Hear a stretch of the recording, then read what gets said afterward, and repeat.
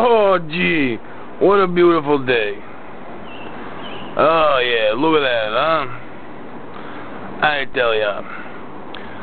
You know, I'm all for a minimum wage. I kind of like the term living wage. That sounds a little better. See, I, I was out for dinner with this bro's parents, and they were like, What do you do? And I said, I'm up urine in a train station. Because I was a little younger then. And they said, What's that pay like? And I said, Minimum wage. That's the lowest they're legally allowed to pay me. Where I think living wage has a nicer ring to it. You know, it's got a nicer ring. How about maximum wage? Oh, I make the maximum wage.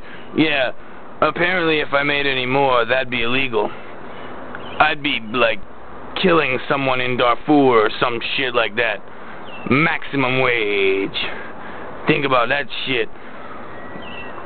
You fucking schmucks. I'm out.